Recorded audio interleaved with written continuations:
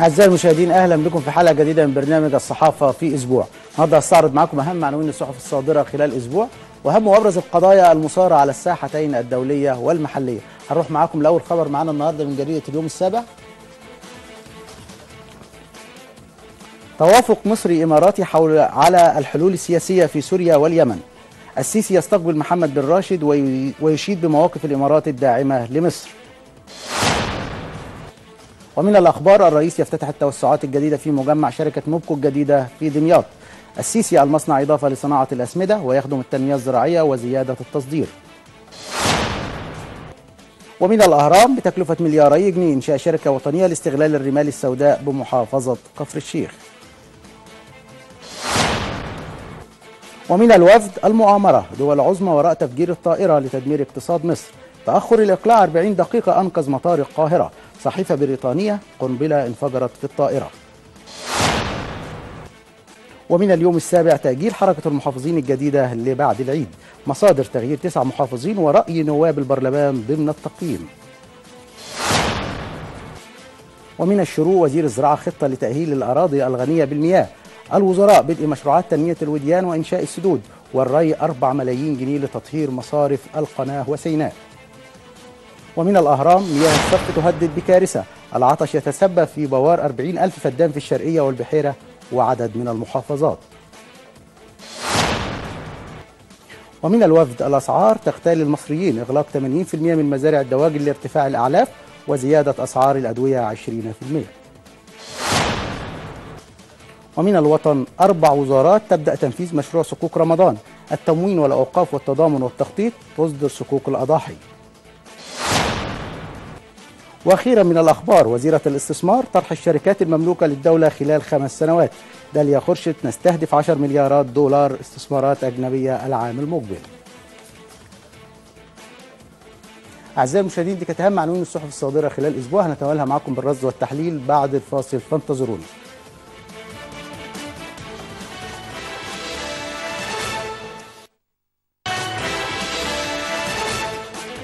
أعزائي المشاهدين أهلا بكم بالجديد. برحب بضيفنا اللي مشرفنا النهارده الأستاذ مصطفى عبد التواب الكاتب الصحفي في اليوم السابع أستاذ مصطفى ازي حضرتك؟ أهلا بحضرتك. معانا. مجموعة أخبار سريعه الأسبوع ده فعايزين نتكلم ونتناقش فيها ونقول بعض التفاصيل اللي ما حدش ناقشها في بعض وسائل الإعلام. من جريدة اليوم السابع توافق مصري إماراتي على الحلول السياسية في سوريا واليمن. آه، السيسي يستقبل محمد بن زايد ويشيد بمواقف الإمارات الداعمة لمصر. أنت شايف مواقف الإمارات مع مصر إزاي؟ مواقف الإمارات مع مصر من بعد آه، 30 يونيو آه، كان للإمارات مواقف واضحة داعمة للإدارة المصرية الجديدة اللي اتغيرت بعد عزل الإخوان. آه، دعمت مصر بمشروعات بدعم آه، خارجي في الدول الخارجية اللي الإمارات بتتمتع بعلاقات كويسة معاها. دعمت مصر بمليارات حلت ال- نقص العملة الصعبة الموجودة. وأخيرا بتدعم مصر ب 8 مليار دولار مختلفة في في- الاستثمارات. الحقيقة أستاذ مصطفى الإمارات يعني أنا بيعجبني أداء الإمارات في البلد في حاجة مهمة جدا. الإمارات عشان تدعمك وتديك قروض وتديك منح وتديك أموال تشتغل بيها وتنمي البلد عملت حاجة ظريفة جدا. عملت لجان عندها خاصة بمتابعة هذه المشروعات. وما بتيجيش تقول لك خد مثلا ال 10 مليون دول أو ال 20 مليون دول اشتغل بيهم. يقول لك قول لي المناطق اللي عندك اللي فيها تنمية عايز تعمل تنمية فيها فين؟ قول لي المدارس اللي عندك اللي فيها شغل فين؟ قول لي المشروعات اللي انت عايزها فين. وتبعت اللجنة اللي هم عاملينها عندهم تقيم مع اللجنة المصرية مع المسؤولين المصريين ويدي لك الأموال على المشروع ده بالذات مثلا في البحيرة في في الفيوم في وتبقى اللجنة متابعة وييجوا يفتتحوا هذه المشروعات. فده أنا شايفه أسلوب في في في في التنمية أسلوب مهم جدا. إنك نبقى عارف المنحة بتاعتك أو الفلوس بتاعتك؟ اتصرفت فين واتعمل بها إيه. هو طريقة إن هو يعل... يعلمني الصيد وما تدينيش سمكه يعني تمام. أنا بعلمك آه، بساعدك في إن أنت تعمل المشروعات وتعمل التنمية. مش شرط إن أنا أديك فلوس ممكن الفلوس تنفق في أي آه، حاجة ما تكونش بتحقق العائد التنموي اللي هم عايزين يدعمونا إن إحنا نوصل له لا وهي في ثقافة كمان إن أي منح بتروح مش عارف للمستشارين وبتروح مش عارف لفين آه البيروقراطية آه، ممكن آه، آه، تبتلع آه. الأموال اللي هي تمام. جاية كلها البيروقراطية نظام البيروقراطية والفساد تمام.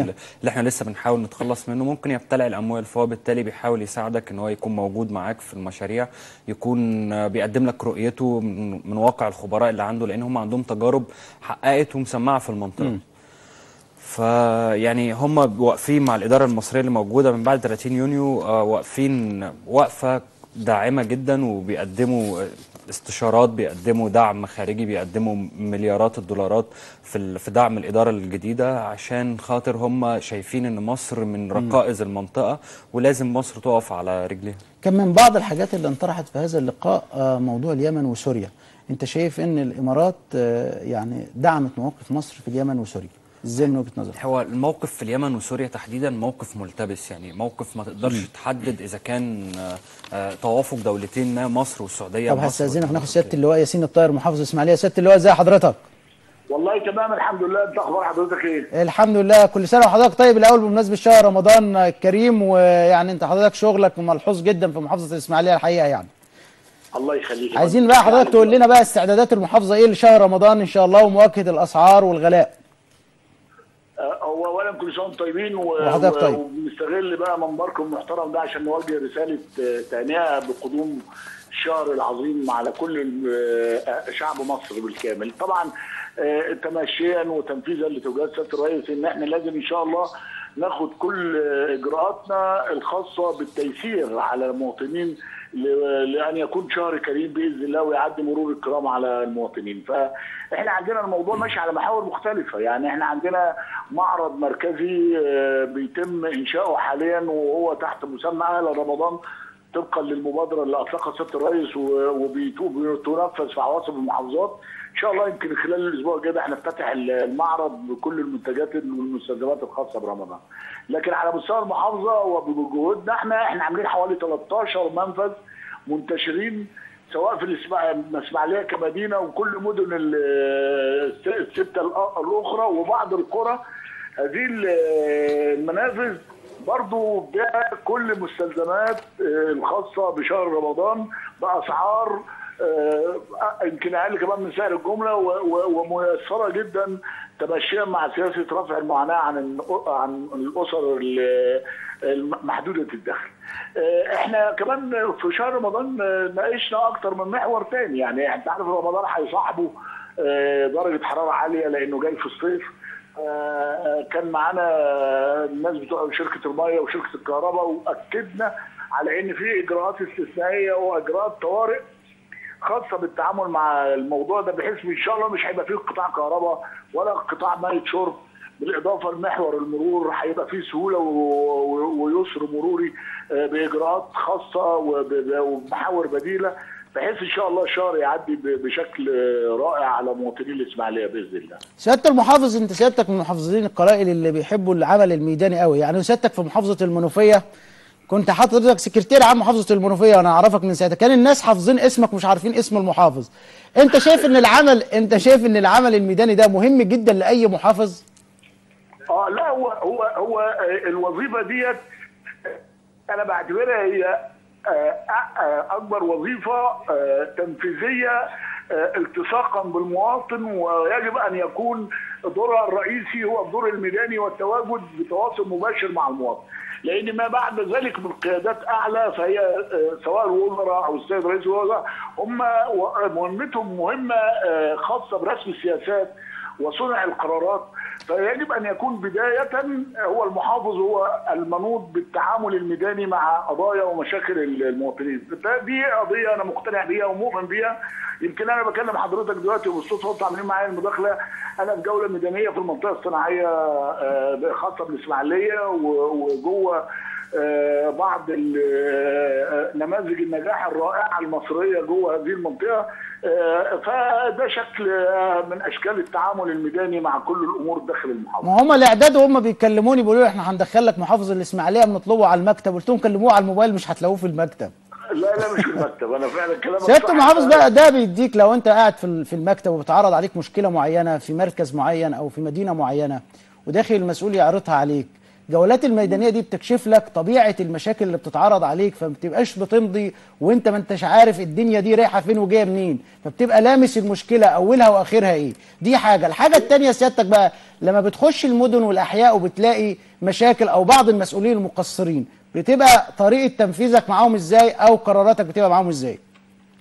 هو بص من المسؤولين اللي بيشتغلوا معاك عارفين يقينا إن أنت لازم تشوف بعينك وتلمس الأمور بنفسك والمتابعة الجيدة هو أساسا ما بيديش فرصة إن يبقى الأمور فيها أي نوع من التقصير. هي القضية قضية تفاعل ما بين القيادات ومن يعمل معهم وأن يؤمنوا إن هو آه، آه، آه، بيقنعهم بهذا الأداء وبهذا الشكل.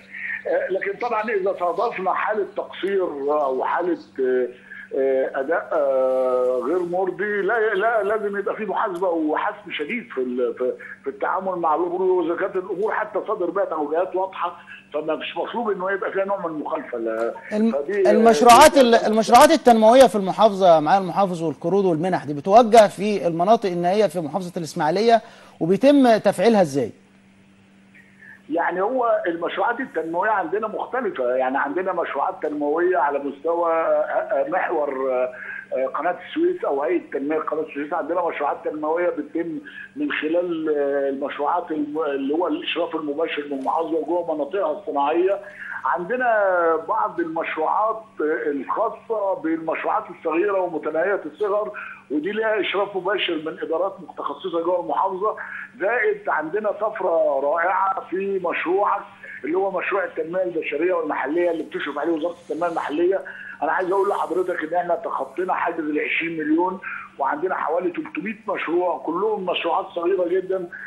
عاملين عاملين شباب رائعين فتحوا بيوت وبقى لهم مشروعات خاصة بيهم المشروعات مختلفة لكن الحمد لله إحنا بنتعامل كمان بنستهدف دلوقتي شريحة الشباب عشان نعمل لهم حالة من حالات التفاؤل والأمل في المستقبل إن شاء الله. طب ما دام اتكلمت عن الأمل بقى قول لنا إيه آخر التطورات في قرية الأمل؟ لا قرية الامل الحمد لله خدت شكلها النهائي وإحنا دلوقتي بنتكلم حضرتك وتقريبا بنسبة 90% من المنتفعين استلموا قطع أراضيهم واستلموا منازلهم الريفيه كل مصادر الري تم تدبيرها. حاليا إحنا بنشيك بقى على الجزء الخاص بإقامة الحقل الحقل الإرشادي اللي هندرب فيه المنتفعين على أسلوب التعامل مع الأرض. وبنعمل كمان صوب نموذجيه عشان لو في تعامل مع الصوب من خلال المستثمرين. كل خدمات القرية كملت.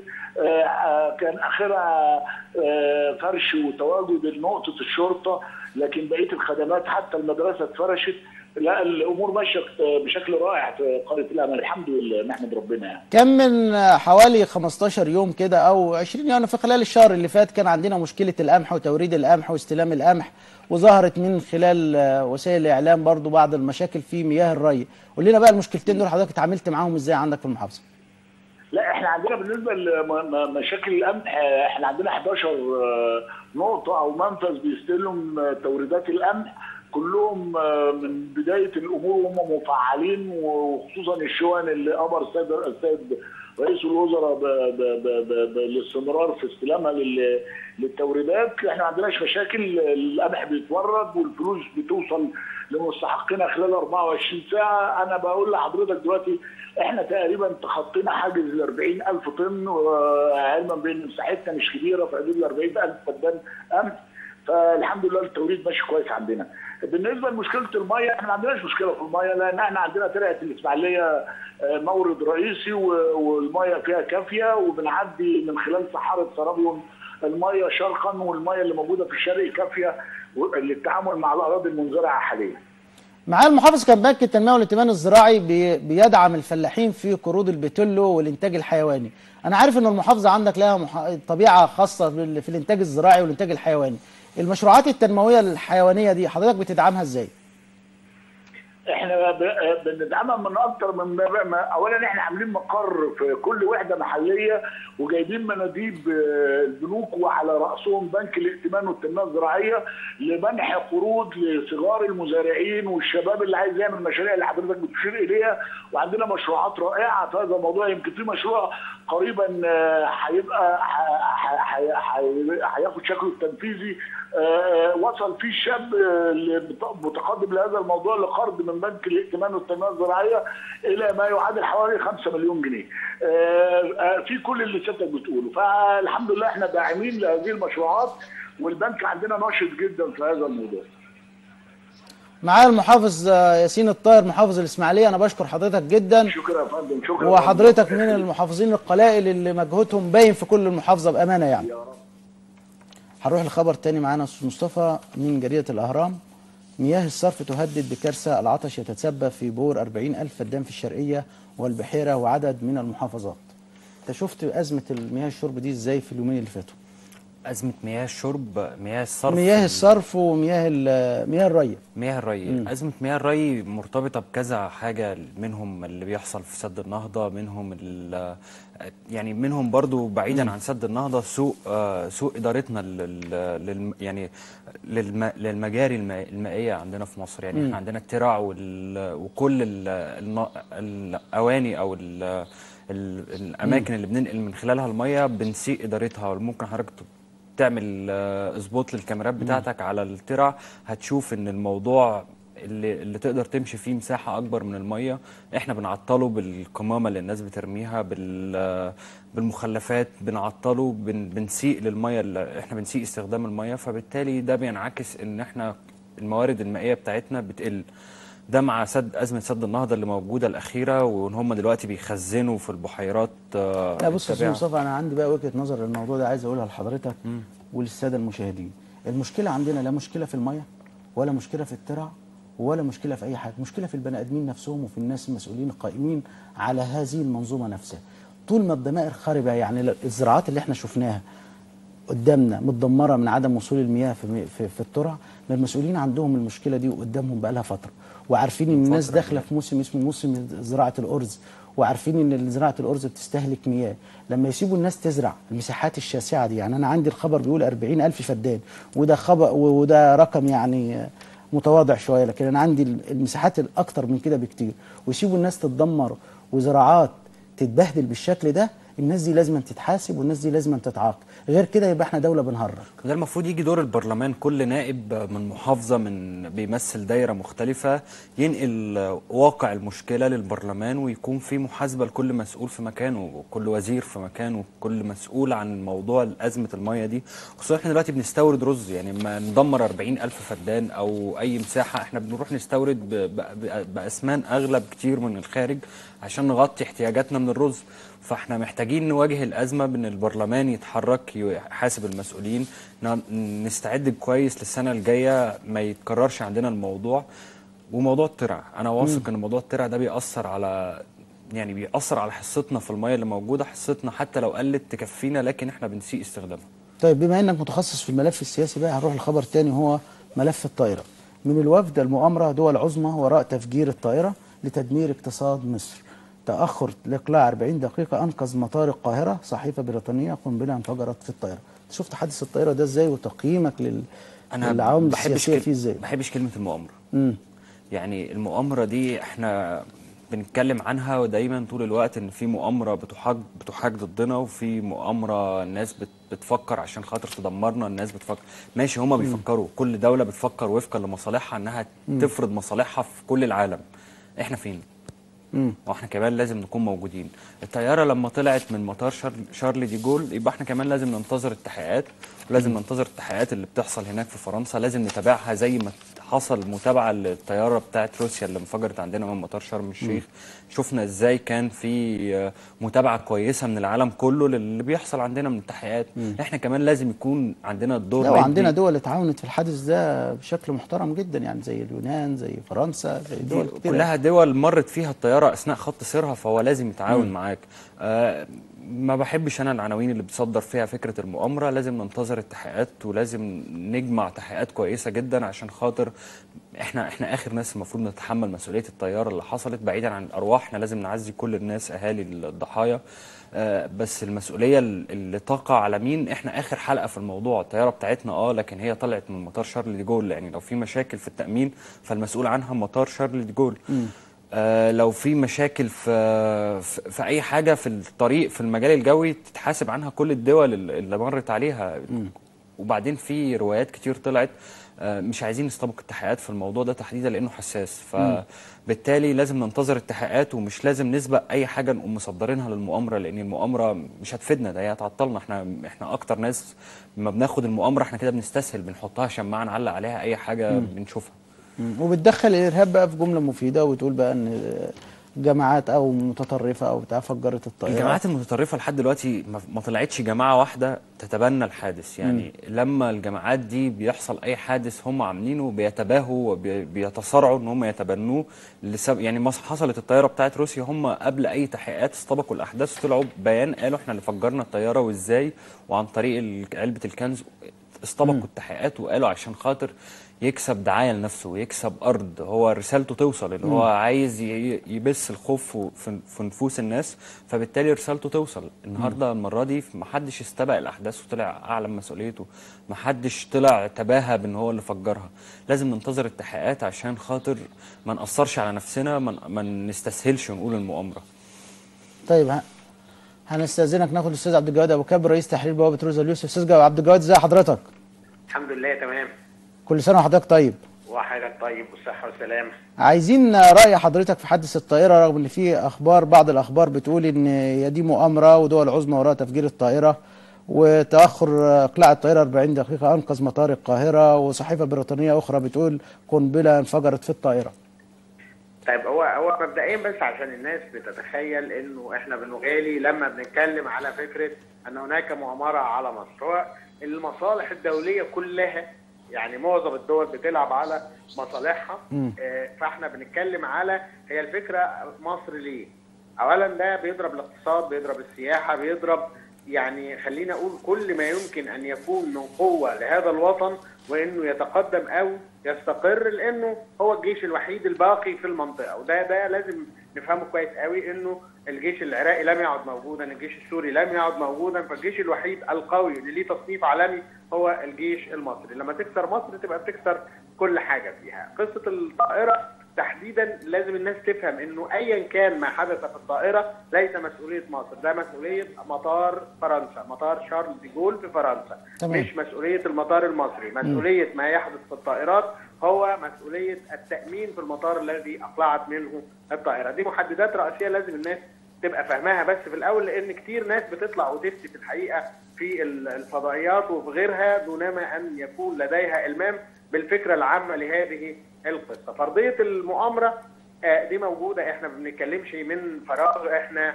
عندنا عمليات بتتم في شبه جزيرة سيناء بتتم بتقنيات عالمية بتليفونات غير خاضعة للرقابة المصرية تليفونات بالأقمار الصناعية. المعطيات دي كلها موجودة ومضبوطة. جزء كبير جدا مما ضبط آه، في سيناء كان متطور جدا وصنع العام في الأسلحة. تمام. وده في الحقيقة ما بتقدرش عليه إلا آه، أجهزة مخابرات و أو آه، جماعات إرهابية مرتبطة بأجهزة مخابرات اذا لما نيجي نتكلم على قصة الطائرة فرضية إنه ال- الطيار آه، انتحر كما حاولت وسائل الإعلام الغربية أن توحي ثم عادت واعتذرت بعد كده ده كلام مش منطقي لأنه ال- ال- يعني خلينا نقول إنه ال- الحاجات بتتسجل بشكل سريع جدا وبتتسجل على مدار الثانية مش على مدار كمان ال- الدقيقة لا وعلى مدار ال- اللحظة. ففكرة ال- المؤامرة كمان موجودة لإنه آه، آه، ليه فقط الدول التي لدينا مصالح كبيرة معها هي اللي بتحصل لها أزمات معانا؟ إحنا. بنتكلم على فرنسا بنتكلم على روسيا وبنتكلم على آه، إيطاليا وبنتكلم حتى على فكرة الدول ال- ال- الصديقة اللي ليها آه، ناس وبيستهدفوا بشكل أو بآخر. يعني فكرة ال- المؤامرة ما هياش آه، جاية من فراغ لا إحنا بنتكلم على معطيات تأخير وقت إطلاع الطائرة هو اللي أنقذ الموقف. كان الحادث أو التصور السيناريو لمن قاموا بالأمر إنه التفكير يحصل في مطار القاهرة. بعد هبوط الطائرة. وده كان هيعمل أزمة كبيرة جدا. آه، هذا المطار كان سيخرج من الخدمة الآمنة. وده دي قصة في الحقيقة في قمة ال- ال- الإزعاج. وتقول إنه ما حدث آه، كان مرتبا ومرتب بعناية شديدة جدا. طيب سيادتك شايف التوافق آه، آه، المصري الإماراتي إزاي؟ ومواقف الإمارات الداعمة لمصر دائما؟ وفي زيارة آه، الشيخ محمد بن زايد. آه خلينا أقول إنه إنه الإمارات في الحقيقة ما بتتعاملش مع مصر باعتبارها دولة ثانية.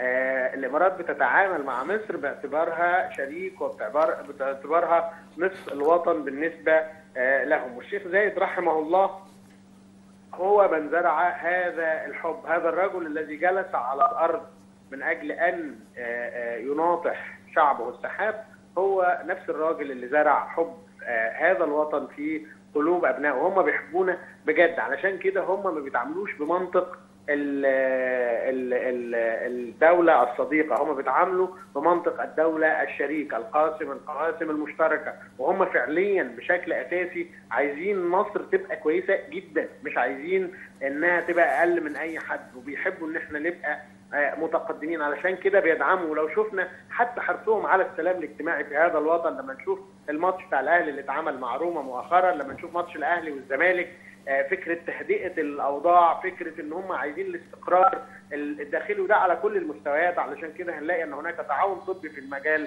في المجال الطبي تعاون كبير جدا. هنلاقي إن في في مجال الإسكان في تعاون كبير جدا. هنلاقي في مجال حتى الفلك ال- ال- اللي هو هذه القصة الجديدة اللي مصر داخلة فيها نلاقي هناك تعاون آه، إماراتي. ويمكن في الحقيقة الزيارات ال- الإماراتية لل- للقاهرة هنلاقيها مستمرة ومتواصلة بشكل كبير جدا لأن هم مش مش الفكرة إن هم يأمنوا آه، آه، المنطقة وإن إحنا نبقى متواجدين في تكامل لا الفكرة إن هم بالفعل عايزين مصر تبقى كويسة. هنشوف لما ال- المجمع العلمي اتحرق. الشيخ سلطان ال- القاسمي آه، دخل وعمل دار الوثائق الجديدة بتكلفة 100 مليون جنيه. هنشوف المساكن اللي بتتعمل هنلاقي الإمارات قاسم مشترك فيها. هنشوف التدريبات العسكرية اللي كانت موجودة كمان الشهر اللي فات في الإمارات آه، ما بين البحرية المصرية والبحرية الإماراتية. إحنا بنتكلم على تكامل حقيقي آه، محمد بن زايد تاني زيارة في وقت قصير جدا وده يقول إنه هناك تحرك آه، كبير جدا من قبل الإمارات لدعم القصص المصرية. فكرة آه، المشكلة مع آه، أثيوبيا فيما يتعلق بسد النهضة. الإمارات بتلعب دور كبير جدا في آه، حلحلة الأمر إنجاز ال- التعبير فيما يتعلق بالتصورات المصرية والتوجهات المصرية آه، الإمارات داعمة بشكل كبير جدا. آه، مصر أيضا يعني فيما يتعلق بالمشروعات الثقافية الإماراتية. مصر شريك أساسي في هذه القصة. زي ما بيعملوا في الإمارات بييجوا يعملوا نفس القصة. آه، في مصر مشروع تحدي القراءة آه، مشروع إبداع اللي بيرعاه حاكم الشارقة المشروعات اللي بيرعاها آه، محمد بن راشد. آه، أنت شايف أنت شايف إن دعم الجانب الثقافي ده مهم جدا أستاذ عبد الجواد؟ طبعا طبعا لأنه لما نشوف تجربة زي آه، آه، الشارقة الشارقة تحولت إلى مارد اقتصادي بالثقافة. شوف دبي دبي بالعلم والثقافة أصبحت على ما هي عليه فكرة الثقافة والمعرفة هي الأساس في حضارة الأمم. وهم فاهمين ده كويس قوي. إحنا كنا سابقين زمان لكن في الحقيقة ما كملناش. هم خدوا من أعلى نقطة في هرم المعرفة واشتغلوا عليها. إنما هم دلوقتي بيعملوا ال- ال- القصة معانا بهذا الشكل ال- المحترم وهم مقدرين الثقافة وإحنا لازم نقدر ده. يعني هي مش الفكرة إن إحنا ناخد من عندهم وبس إنما خلينا أقول إنه كمان إحنا على مستوى ال- التعامل آه، آه، المهني والإعلامي والثقافي المصريين موجودين هناك بشكل آه، يعني رائع جدا وبيتعاملوا بنفس المنطق بتاع إن دي بلد واحدة مش بلدين. الأستاذ عبد الجواد أبو كاب رئيس تحرير بوابة روزا اليوسف أنا بشكر حضرتك جدا على المداخلة. أنا حابب أقف تاني عند موضوع المؤامرة. يعني الأستاذ عبد الجواد بيأكد على إن إحنا علينا مؤامرة. هي هي ما بتبقاش اسمها مؤامرة هي بيبقى اسمها مصالح دول بتتشابك مع مصالح دول تانية. من حق كل من حقنا كمصر إن إحنا يبقى عندنا مصالح في الدول الجوار. إحنا عندنا مصالح إن ليبيا تستقر فدي مش مؤامرة على الشعب الليبي. إحنا مصالحنا ان إحنا دوله دولة المجاورة اللي حدودها بتمتد بمئات الكيلومترات معانا تستقر عشان خاطر إحنا يستقر الوضع عندنا والحدود دي تؤمن. فدي إحنا كده بنتآمر على الشعب الليبي. مصالح دول بتتقاطع مع مصالح دول أخرى. إحنا اللي لازم نكون موجودين. لأن إحنا لو فضلنا نعلق على شماعة المؤامرة كل مشاكلنا إحنا مش هنتقدم خطوة واحدة لقدام. لو فضلنا نقول إن كل اللي بيحصل معانا دي مؤامرة دي مؤامرة دي مؤامرة دي مؤامرة ده استسهال. هنبص على الإمارات. إحنا كان عندنا مهرجان القاهرة من أول مهرجان في في المنطقة. إحنا كنا قبلة الشرق في السياحة. دلوقتي الإمارات عشان هي دولة يعني ما قالتش العالم بيتآمر علينا. دولة التزمت بان هي تشتغل بتتكلم على. فكرة يعني كل حاجة. نعلقها على على. مؤامرة يعني. نشتغل ون... ونعالج. إحنا ما عندناش مشاكل تؤدي إن إحنا نتأخر. إحنا عندنا مشاكل تؤدي إن إحنا نتأخر ولا ما عندنا عندنا مشاكل تؤدي إن إحنا نتأخر. فبالتالي إحنا بنتأخر.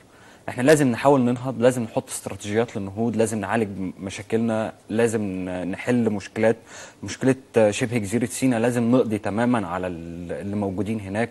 آه، القضاء عليهم صعب لازم ناخد وقت بس أهم حاجة نقلل ما نخليهمش يتسربوا ويدخلوا القاهرة زي ما حصل في حادثة حلوان الأخيرة اللي سمعنا عنها. مواجهة ال- الإرهاب في شبه جزيرة سيناء لو ده إرهاب وده يعني عمليات إحنا ما- نخلقش بيئة حاضنة لل- للتكفيريين والأصحاب الفكر المتطرف الموجودين إن إحنا نسيب منافذ للناس تعبر عن رأيها فبالتالي مش الإرهاب. والجماعات المتطرفة دي الحقيقة أستاذ مصطفى موجود في العالم موجود كله. في العالم كله في كل البلدان وبيحصل إحنا شفنا الحوادث الأخيرة كلها في في في, في أرقى الأماكن يعني و وهنقول إيه؟ هتقول إن تقصير في في. الأمن وفي كل أماكن. في أوروبا. في كل أماكن. ففكرة الإرهاب ده موجود في كل الإرهاب موجود بس ما, نستسهلش. جدا يعني. دي دي كلها أمراض. لو أنا استسهلت وقلت إن الأمراض دي هتموتني فأنا هستسلم ليها وأموت. ده حقيقي. أنا لازم أنهض وأقاومها. هنروح الخبر تاني معانا من جريدة اليوم السابع تأجيل حركة المحافظين الجديدة اللي بعد العيد. مصادر تغيير تسع محافظين ورأي النواب البرلمان ضمن التقييم. أنت شايف الخبر ده إزاي؟ أنا شايف إن إحنا نستنى اما الانتخابات المحلية تحصل مم. وكل مجموعة كل كل مجلس محلي ينتخب في محافظة هو اللي يقرر مصير المحافظ بتاعه. بس إحنا لسه مغيرين محافظين قريب تقريبا يعني مش مش من شهور بعيدة. فهنرجع نغير تسع محافظين وبعدين يحصل انتخابات محليات فيسحبوا الثقة من المحافظ فنرجع نغير. طب ما نسيب المسؤول ياخد فرصته وبعدين نتكلم عن تغييره لما المحليات تيجي. المحليات هي اللي هتبقى بتعبر عن إرادة كل قرية وكل مركز وكل محافظة فبالتالي هي اللي تقدر تحدد إذا كان المحافظ ده يقدر يكمل معاهم وخصوصا الدستور الجديد وفر لهم آه، يعني وفر لهم تولز أدوات ما كانتش موجودة قبل كده. ويقدروا يسحبوا الثقة من المحافظ يقدروا يعملوا استجواب للمسؤولين المحليات اللي جاية عليها دور كبير فإحنا ننتظرها. ليه بنستعجل ونعمل حركة تغييرات؟ خصوصا إن في محافظين بتشتغل وفق الاستراتيجيات اللي موجودة. يعني في است... في أهداف وأفكار محطوطة فهو بيشتغل. بناء عليها. لما يجي المحليات وتحط أهداف ورؤى وكل محافظة تبقى عارفة هي عايزة إيه وخصوصا إن نظام المحليات الجديد هيكون نظام لا مركزي فكل محافظة تقدر تحدد هي عايزة إيه وعايزة تعمل إيه. ننتظر المحليات. أنا من رأيي ان إن هي حركة متعجلة وأعتقد إن نواب البرلمان ممكن يكون عندهم نفس الرأي. مم. طيب هنروح لخبر تاني معانا. هو الرئيس يفتتح التوسعات الجديدة في مجمع شركة نوبكو الجديدة في دمياط. السيسي المصنع إضافة لصناعة الأسمدة ويخدم التنمية الزراعية وزيادة الصادرات. شايف المشروعات دي مشروعات مهمة؟ في مشروعات؟ مهمة طبعا آه، خصوصا أي مصانع. أنا ب... ب... يعني برحب دايما بفكرة إن إحنا نفتتح مصانع لأن المصانع هيعود من عليها إنتاج وهيعود من عليها فرص عمل فرص وتشغيل، عمل جديدة وممكن تخلق فرص استثمارات جديدة. يعني آه، المصنع ده ممكن اللي بيتصنع منه يكون جنبه صناعات أو زراعات جديدة في المنطقة المحيطة ليه فبالتالي إحنا هنخلق مزيد من فرص العمل هنخلق مزيد من الصناعة والإنتاج فهي بالتالي هت- هتنعكس علينا بطريقة جيدة يعني. طيب هنستأذنك. ناخد الدكتور محمد سلطان محافظ البحيرة. دكتور محمد ازي حضرتك؟ أهلا بحضرتك. ازي حضرتك يا فندم؟ أهلا بيك يا فندم. حضرتك باذل مجهود كويس في محافظة البحيرة فقول لنا بقى إيه استعدادات المحافظة في شهر رمضان إن شاء الله؟ اولا كل سنة وحضرتك طيب وكل سنة طيب. وكل المواطنين بصحة وخير. طبعا شهر رمضان إحنا عندنا يعني الشهر ده آه، فيه كذا حدث هام. طبعا دخول شهر رمضان علينا وتاني في امتحانات الثانوية العامة والأجازة الصيفية ابتدت. فطبعا إحنا في سعادات الحمد لله في شهر رمضان. عندنا معرضين كبار هي- هيتم عقدهم إن شاء الله معرضين آه، أهل رمضان. واحد في دمنهور وواحد في آه، كفر الدوار. بحيث دول يتيحوا آه، كمية كبيرة إن شاء الله من المواد التموينية والمواد الغذائية للمواطنين بأسعار تنافسية. أيضا في 10 منافذ تانيين بيتم عملهم في كل مركز من مراكز منفذ بالتعاون مع القوات المسلحة وبالتعاون مع الغرفة التجارية. آه، بس طبعا على مساحات أصغر مش بنفس الحجم بتاع آه، معرض أهل رمضان. بالإضافة لذلك طبعا في حملات يوميا على ال- ال- المحلات والمصانع وجميع ال- الأماكن المنتجات الغذائية. بنتاكد طبعا بالالتزام بالاشتراطات الصحية والالتزام بالأسعار عشان ما يكونش في ارتفاع في أسعار آه، المواد الغذائية للمواطنين. أيضا برضه الحمد لله منظومة الخبز ماشية بصورة جيدة آه، متوفر في كل أنحاء المحافظة ما فيش أي آه، عجز فيه اسطوانات الغاز أيضا تم تأمينها بصورة جيدة آه الحمد لله يعني آه إن شاء الله يكون رمضان آه، سعيد وسنة سعيدة علينا جميعا إن شاء الله. إن شاء الله. سيادتك وقعت اتفاقيه مع صندوق تطوير المناطق العشوائية التابعه لوزارة الإسكان بحوالي 21 مليون جنيه لتطوير المناطق العشوائية ومنها منطقة كساره تقريبا يعني في مدينة نعم، رشيد. نعم. فقول لنا حضرتك بقى ملابسات الاتفاقية دي إيه؟ وحضرتك حصرت المناطق العشوائية في محافظة البحيرة كلها تشتغل عليها بنفس الطريقة كده؟ نعم نعم. إحنا عندنا في في محافظة البحيرة طبعا تسع مناطق عشوائية تم حصرهم ودي المناطق العشوائية اللي فيها خطورة. في المساكن بتاعتها على المواطنين. ابتدينا بأكثر المناطق أهمية منطقة الكسارة في آه، رشيد ودي كانت تعرضت للغرق أثناء النوة الشتوية آه، في العام الماضي. آه، دول حصرنا طبعا جميع الأسر الموجودة يعني يتراوحوا تقريبا حوالي 85 أسرة. تم آه، عمل الحصر وتم عمل ال- ال- ال- البحوث الاجتماعية لكافة الأسر. وعملنا آه، رسم مبدئي بالتعاون مع وزارة الإسكان وبالتعاون مع آه، آه، جهاز الخدمة الوطنية. الحمد لله هن- هنقوم بإخلاء السكان جميعا وتسكينهم في سكن في شقق بديلة لحين الانتهاء من عمل عمارات ليهم في هذه المنطقة. يتعمل خمس عمارات هنعمل وحدات سكنية لكل أسرة وحده سكنية وفي landscape ومنطقة حدائق محيطة بهذه المنطقة. وتعمل صرف صحي ومياه شرب نقية لهذه المنطقة. دي أول منطقة آه، بنبتدي العمل فيها مع وزارة الإسكان جهاز تصوير العشوائيات. تم توقيع البروتوكول بقيمة 21 مليون ويبتدي الشغل الحمد لله من 1 6 إن شاء الله. طيب ال- العقارات المخالفة على أملاك الدولة والأراضي الزراعية بتواجه ده إزاي يا دكتور محمد؟ إحنا الحقيقة بنواجه آه، يعني صعوبة كبيرة في هذا الموضوع لأنه إحنا تعرف محافظة البحيره من المحافظات المتناميه الأطراف آه، في تعديات بصورة كبيرة على بعض الأراضي الزراعية. إحنا في تعاون بيننا وبين الأمن وبين الوحدات المحلية بنحاول نزيل قدر المستطاع معظم التعديات والإزالة في المهن طبعا بتبقى أفضل بكتير ان بتبقى فيها آه، سهولة وفيها تحكم أكثر. بتواجهنا صعوبة طبعا في الأماكن اللي أقيمت منذ فترة كبيرة وبها آه، آه، يعني آه، يعني حياة وبها أسر تسكنها. لكن آه، يعني بيتم إزالة ما يمكن أو ما آه، يمكن إزالته من آه، المباني المخالفة. والحقيقة دلوقتي إحنا بندرس إنه يبقى في آه، آه، إنهاء المخططات العمرانية لكافة القرى لأن ده بي- بيضع آه، يعني وضع قانوني وبيضع مساحات قانونية للأهالي تسمح بالبناء وبيضع طبعا بيمنع بصورة كبيرة جدا أي بناء على المناطق اللي هي المخالفة. دكتور محمد أنا أعرفك من من وزارة الصحة وحضرتك بتكره البيروقراطية والوساطة والكلام ده كله. إحنا عندنا مناطق صناعية واستثمارية كبيرة جدا في محافظة البحيرة زي منطقة النوباريه ووادي النطرون وأبو البطامير. في كذا منطقة صراحة يعني محافظة البحيرة محظوظة بيهم يعني. لكن في لجنة الاستثمار عند حضرتك في المحافظة فيها بعض المعوقات أمام المستثمرين. نعم وطبعا يمكن أنا لمست ده طبعا في خلال تعاملي مع آه، العديد من المستثمرين اللي بيحضروا للمحافظه عشان إنهاء إجراءاتهم. الحقيقة دلوقتي إحنا كانت اللجنة بتنعقد كل فترة إحنا بنعقدها بصورة دورية تقريبا كل أسبوعين عشان نخلص إجراءات المواطنين. المعوقات اللي بتقابلنا مع المواطنين لو كان آه، معوقات آه، آه، بيسمح سلطه المحافظ إن انهائها يتم انهائها فورا لكن هناك بعض الإجراءات اللي بتحتاج موافقات من وزير الاستثمار أو من هيئة عمل الاستثمار وإحنا بنخاطب الهيئة مباشرة وبنحاول نسهل ده وزي ما حضرتك قلت محافظة البحيره يعني فيها منطقة صناعية في وادي نطرون ومنطقة صناعية الآن جديدة في حوش عيسى وتم بدء التسكين فيها وإحنا دلوقتي بنمد لها المرافق الكهرباء والمياه والغاز عشان نقدر إن إحنا نسكن فيها أكبر عدد المستثمرين. أيضا الحمد لله آه، تم آه، بدء العمل في المنطقة اللوجستية التجارية في دمنهور على مساحة 96 فدان وتم فعلا عمل آه، يعني مزايدة معلنة من خلال جهاز التجارة الداخلية وتم الرسو على بعض المستثمرين وإحنا الآن في آه، عملية آه، تمهيد ال- الأرض وعمل الجسات وتوصيل المرافق ليها ودي هتبقى منطقة لوجستية تجارية آه، داخل آه، مدينة دمنهور وعلى الطريق الزراعي وهتعمل انتعاشة اقتصادية كبيرة جدا للمحافظة. دكتور محمد أنا أعرف إن حضرتك من الناس اللي بتحب الجولات الميدانية كتير قوي.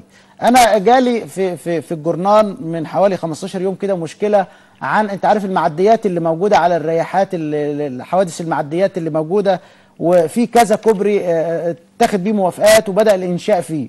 يعني لما يبقى الكوبري سيادتك قاطع ال- الفرع وجاي مثلا من محطة سكة حديد ومعدي للطريق وفاضل له 50 متر عشان ينزل من الطريق للجنب التاني. فيقف عند ال 50 متر دول وينزل يبقى الطريق يبقى نفس الحوادث متكررة زي ما هي. زي مثلا مشكلة كوبري قرية البريجات اللي قدامي منها شكوى دي. إيه المشكلة لو إحنا مثلا نزود الكوبري 50 متر عشان ينزل من الطريق من الناحية التانية بدل ما نبقى إحنا ما عملناش حاجة برضه؟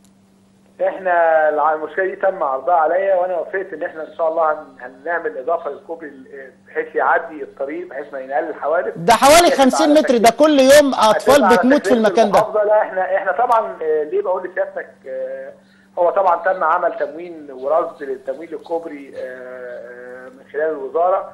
إحنا هنكمل كمحافظة التكلفة الإضافية وأنا وافقت مبدئيا على امتداد الكوبري ال 50 متر المطلوبة عشان حماية المواطنين وتقليل الحوادث. أنت عارف دي قرى قرية بتضم في بتضم مجلس القرية بيضم عدد من العزب والقرى كتير جدا يعني تع- تعدد السكاني كبير جدا يعني دك دكتور. محمد دكتور محمد سلطان أنت من المحافظين النشيطين جدا ونشاطك ملحوظ في المحافظة وأنا بشكر حضرتك جدا على المداخلة هنروح لأخبار تاني معانا يا أستاذ مصطفى وهو من جريدة الأخبار وزير الاستثمار طرح الشركات المملوكة للدولة خلال خمس سنوات. داليا خورشيد نستهدف 10 مليارات دولار استثمارات أجنبية العام المقبل. هو أنا محتاج أفهم أكتر من الوزيرة أو من ال يعني من الطرح فكرة طرح ال- الشركات المملوكة للدولة للاستثمار. آه يعني ما يبقاش الموضوع خصخصة يعني. عايز أفهم أكتر عن الموضوع. محتاجين المعلومة ال- الحكومة يكون عندها شفافية وتقدم معلومات أكتر للناس عشان الناس تبقى فاهمة الموضوع ما يبقاش خصخصة. يبقى في طب ليه الدولة هتبيع المصانع دي أو هتسيب المصانع دي ومش هتديرها هي؟ هل الدولة مش قادرة إنها تدير المصانع؟ طب ليه من يعني ليه ما نشغلهاش إحنا؟ ليه الدولة ما تشغلش المصانع؟ لازم يكون في شفافية في المعلومات حوالين أي أي مصانع هيتم عمل معاها الموضوع ده لأن خ- خاصة الناس عندها حساسية من فكرة الخصخصة. بنرجع قبل 25 يناير كان في مصانع كتير اتخصصت فالناس كتير الناس خايفة من الموضوع ده. فلازم يكون في شفافية في المعلومات وتقدم معلومات كويسة وكفاية. إحنا ليه سيبنا المصنع ده مش هنشغله إحنا؟ إحنا ليه هن ليه يعني إيه المعايير اللي هنسيب على اساسها المصنع آه، المستثمر اللي هياخده هياخده حق انتفاع لمدة قد إيه؟ ولا هيبيع ولا هنشتري؟ لازم معلومات أكتر وشفافية أكتر في الموضوع ده. الكاتب الصحفي مصطفى عبد التواب أنا بشكر حضرتك جدا على تشريفك لينا. أهلا بحضرتك أعزائي المشاهدين دي كانت أهم عناوين الصحف الصادرة خلال أسبوع. تناولناها معاكم بالرصد والتحليل. لكم مني أطيب المنى ماهر الفضالي